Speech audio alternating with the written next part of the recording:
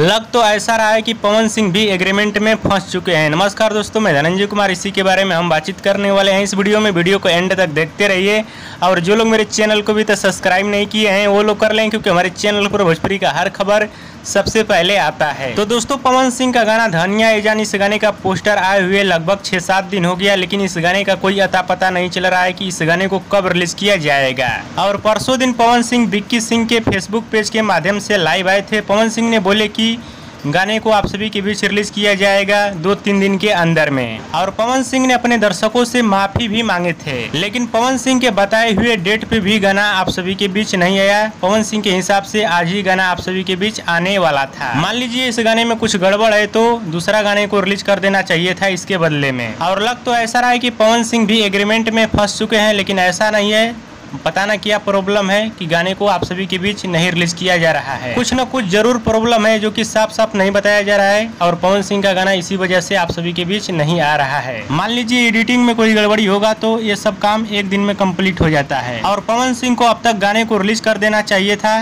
क्योंकि अब नवरात्र भी आने वाला है।